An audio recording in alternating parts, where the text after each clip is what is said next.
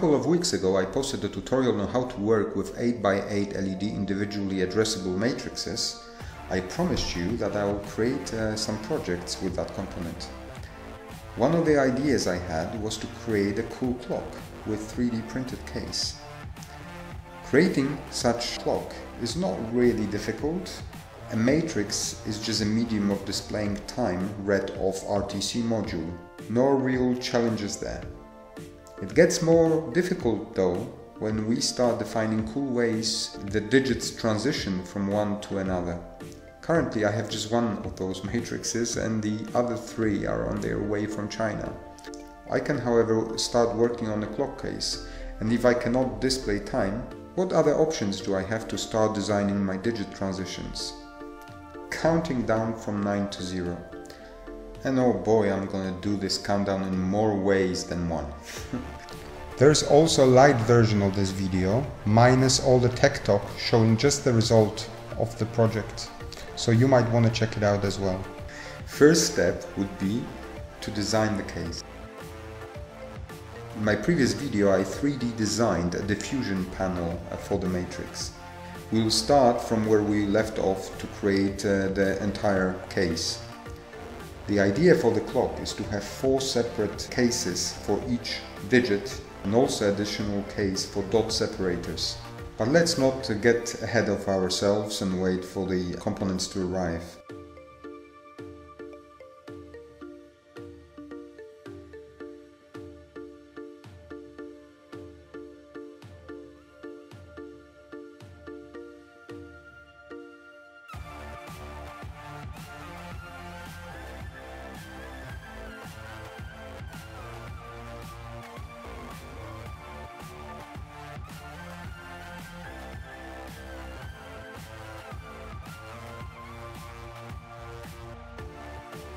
After adding some additional fine details for the case, design is now ready to be printed.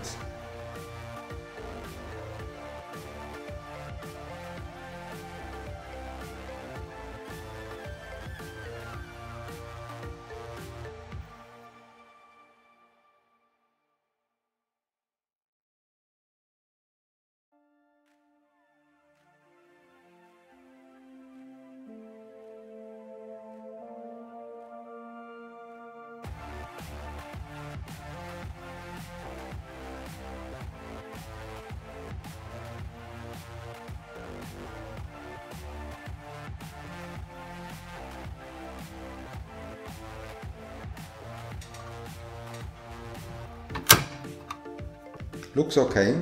It will be a few weeks before I can check if all the components would properly fit into it, but for today's video it will do. Now that we have the case, we have to come up with a digits style. I thought we can have digits with color shading that would look more or less like this. Let's look how to display a single digit on that matrix. For each digit we create 8 by 8 array corresponding to pixel layout. In that array 0 stands for background, 1 stands for digit, 2 stands for shading outline of the digit. Variable current digit stores the digit that is currently being displayed on the matrix. The code to display the digit looks like this. The custom function check pixel in digit is taking current digit value and looks for the corresponding digit array and in that array for the entry with i and j coordinates. Depending whether the value read is 0, 1 or 2, we display pixel in background, digit or shading color.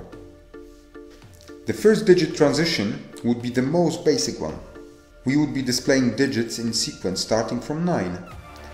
We use the same nested for statements we talked about and we build loop function around it. After running those for statements, we execute fastled show to display current digit on the matrix. The current value is decreased, so the next time loop function is run, we display next digit in a sequence. We also generate random color for the next loop run. The pool of colors is stored in a colors array. If we reach 0, we reset current value to 9. Here is how the countdown looks on this matrix.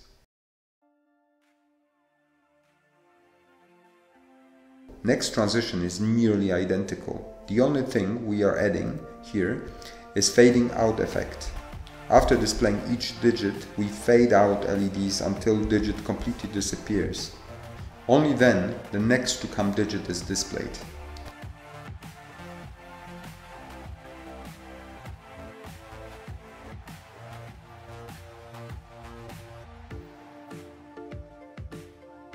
Moving on to more complex transitions.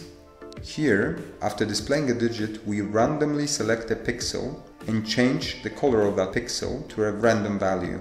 After repeating this step 100 times, the digit disappears and we have the matrix filled with mixed color pixels. Then we repeat similar action, but now instead of generating a random color for the pixel, we randomly select the pixel and use check pixel in digit function to fill it with the pixel belonging to the digits we are transitioning to.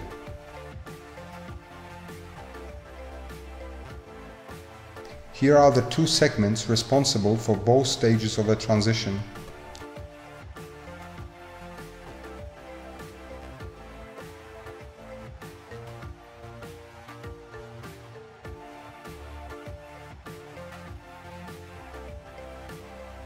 And this is how it looks displayed on the matrix.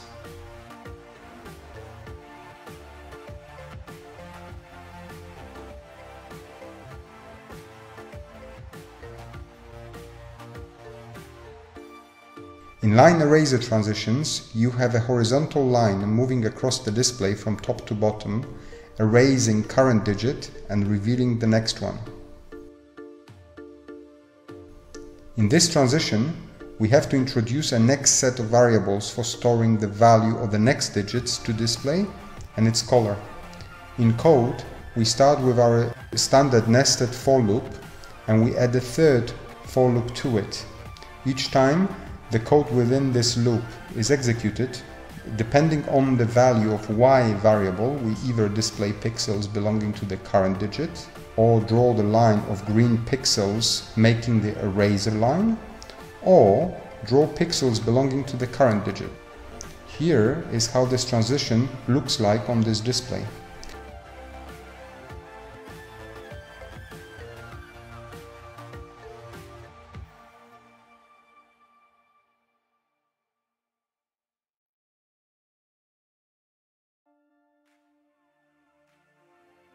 The last transition is clockwise transition, where we have eraser line moving like a hand of the clock, erasing the current digits to the solid background with a random color, only to move around the clock again to reveal the next digit.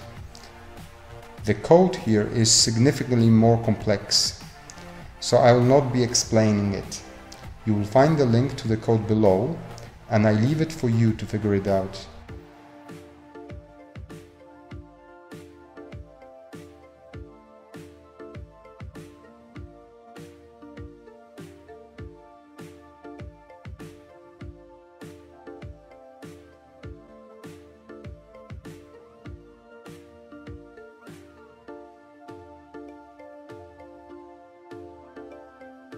Let's now see all the transitions displayed one by one.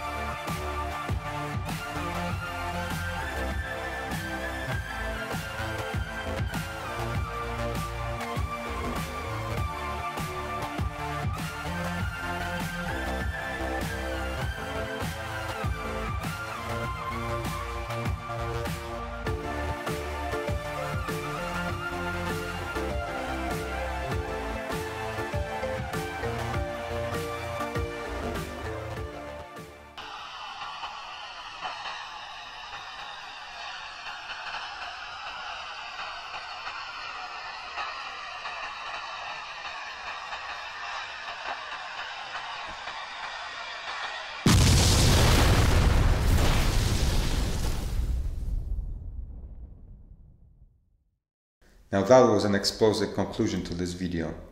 Can you think of any other cool digit transitions I can implement? Let me know in the comments below. If I can get 3-4 cool ideas that I like, I might do another video and ultimately use those transitions in my clock as well. If you're interested to see how this digital clock is going to turn out, I guess you have no other options than to subscribe to my channel. I wouldn't mind if you hit that like button below either. See you in my next video.